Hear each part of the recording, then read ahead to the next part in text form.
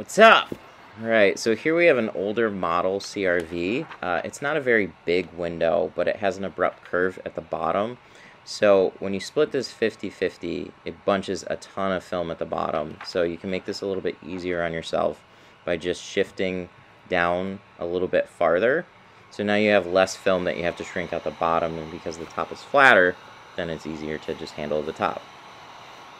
So I've got uh, my heat gun pointed at a, like a 45 degree angle. It's about six inches away or so, um, but I'm always adjusting my heat a little closer, a little farther based on what the film is doing. And you'll notice at the bottom, um, I'm kind of tugging on the film. I'm not pulling very hard, but just lifting it off the glass and putting a little heat wherever I'm kind of tugging the film at. So this will allow the film to kind of just pull flat and then I'm evenly distributing the heat and I haven't even had to use the felt card yet. Everything is just, when you hit the film just right with that heat, it just lays down perfectly. So you're not seeing hardly any tension lines, and we're just working our way back and forth.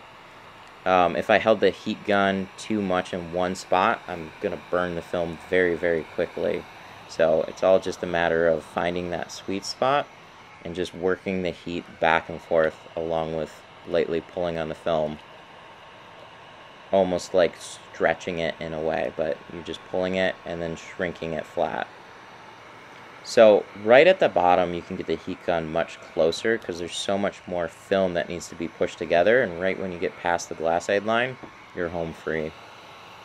So with the top, look, it just, it moves a hell of a lot faster. So with that extra film that we had bunched up there, it really doesn't equal the same amount of film as the bottom because it was so much flatter up up at the top and everything just shrinks much, much quicker. So same thing over on the other side. Make that 50-50 line just a little bit lower there so you just have less bunched up film at the bottom. We're going to be doing the exact same thing. So with a window like this, um, I'm making these little circle motions with the heat gun. It just helps to keep the heat moving evenly. The Wagner heat guns focus a lot of heat in one spot. So they get nice and hot. They're nice little heat guns, um, but you don't want to focus any too. You don't want to focus too much heat in any one particular spot.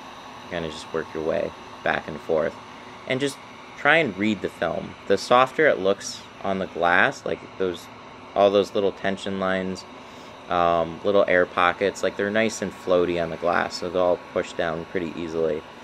You'll see here on this lower left hand corner, I don't quite shrink it enough the first time I go to press it down. So it's all nice and, uh, and pretty flattened out here. You can even like overheat the bottom and get that curve. So we're to organize it with felt card, push all that air out and see how the film wants to lay down. See that lower left hand corner, how it's, uh, there's still like a decent air pocket there. There's also a little bit of dirt left over from the wiper blade in that spot too, so it looks a little messy. Put a little bit more heat there and boom, lays right down. It's also not unusual to have like some slight air pockets from the glass aid too, so don't be alarmed by that at all.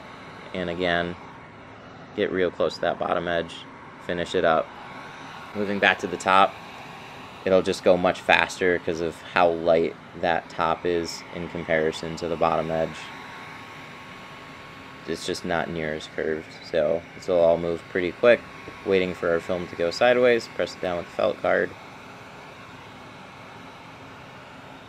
Then get a little closer with the heat gun as you get closer to the top, just because you got more material to shrink together, and boom, you're all set.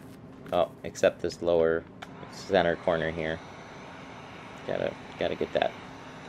There we go, boom.